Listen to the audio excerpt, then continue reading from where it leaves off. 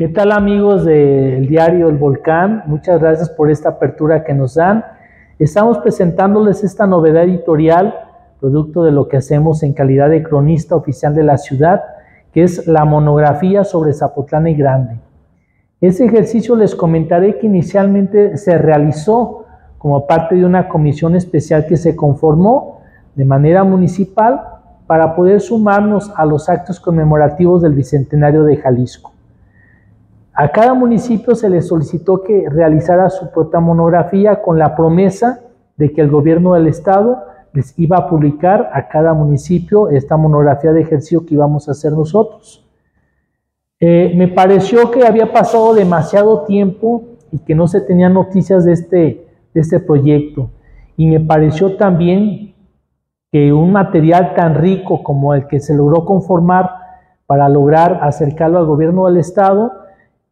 no era justo que se quedara ahí en el tintero.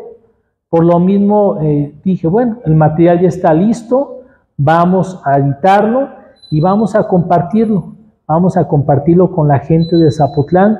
para que de alguna manera aprecien los rasgos más generosos que noblecen este rostro de la ciudad. Eh, sin embargo, obviamente es un libro que sobre todo es pensado para nuestra niñez y juventud, para que ellos también se acerquen y reconozcan lo que la geografía de este valle de Zapotlán guarda. Un valle muy rico en muchas aristas y obviamente sobre todo en el campo de la historia. Eh, es un glosario de diversos tópicos de la ciudad de manera muy breve narrada a fin de que, de que rápidamente puedan acceder a la información precisa que sobre todo a veces solicitan en las escuelas primarias y secundarias sobre todo. Entonces, ¿qué van a encontrar aquí? Obviamente la heráldica, la toponimia de lo que, lo que es la ciudad, la vexilología, que es parte de nuestra, de nuestra indumentaria, que es nuestra bandera municipal. Van a encontrar también ustedes eh, una muy brevísima monografía narrada,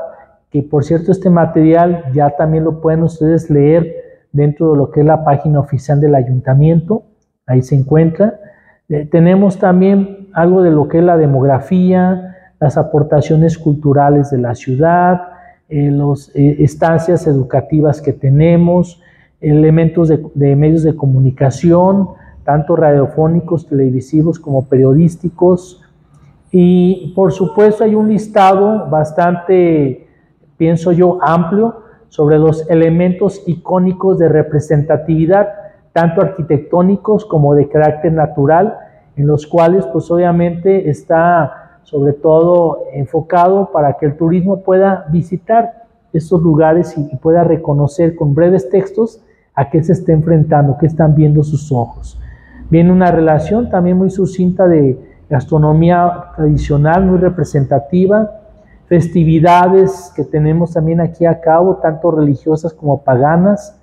una relación de esos personajes notables por los cuales la ciudad se ha distinguido como la cuna de grandes artistas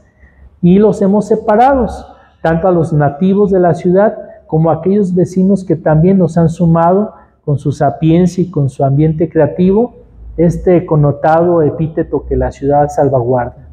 Viene una relación también de los presidentes municipales desde que se elevó este, esta eh, comunidad a municipalidad y ya tuvo su ayuntamiento constitucional.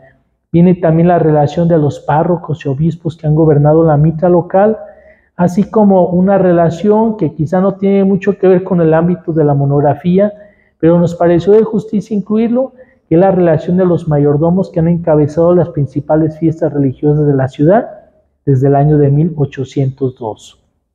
Todo esto, repito, lo pueden encontrar en este, en este volumen, que es un volumen breve, muy apretado, donde concebimos, repito, estos rasgos más ennoblecedores de lo que la ciudad y el municipio representan. Yo espero que realmente logremos eh, acotar los objetivos que nos hemos cumplimentado para que a la hora de que ustedes se aproximen a la lectura de este libro, realmente encuentren eso que muchas veces, les repito, sobre todo piden en las escuelas y que, y que esperemos que el documento se convierta en una herramienta esencial para mejor reconocernos como orgullosos hijos de esta tierra de Zapotlán y Grande.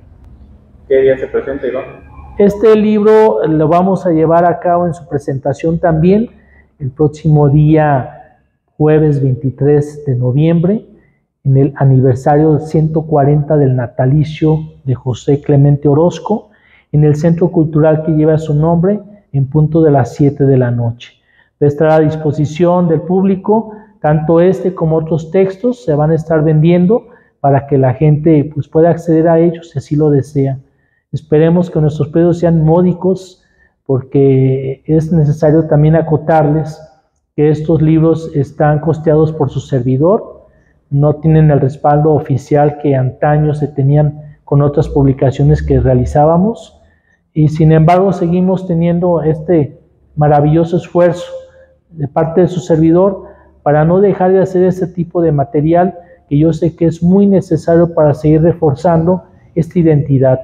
Porque finalmente si no conocemos estas raíces, poco vamos a definir lo que queremos hacer en la vida, porque no vamos a tener un estatus de representatividad geográfica